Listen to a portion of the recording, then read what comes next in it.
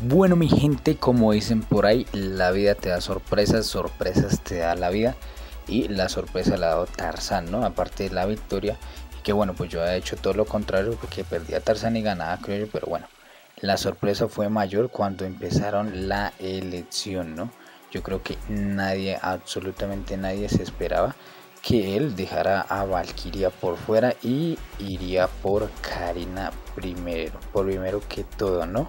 Y bueno, aquí vemos como el antes y el después de Valkyria, muy contentica, pero después tenga para que se entretenga, ¿no? Y bueno, pues la cara de Okendo, bueno, Okendo lo dice todo, ¿no? Eh, tremendo Okendo. Entonces, al menos disimula, eh, cabrón, ¿no? Al menos disimula Okendo un poquito. Pero bueno, no solo Okendo fue el único sorprendido, ¿no? Sino que, pues bueno, Z y Valkyria también sorprendió bastante, como mm, yo creo que toda Colombia también se sorprendió, ¿no? Y bueno, no sé por qué Maleja y Emily miraban como, como raro, ¿no?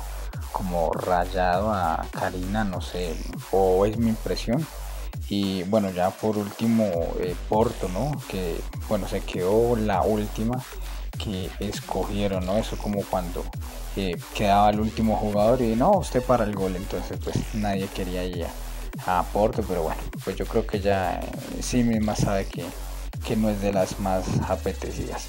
Y bueno, déjenme en sus comentarios qué tal les pareció el desafío de ayer, sobre todo la lección y bueno, sobre todo lo que hizo Tarzan. Eh, muchas gracias, no olviden suscribirse y nos vemos en la próxima.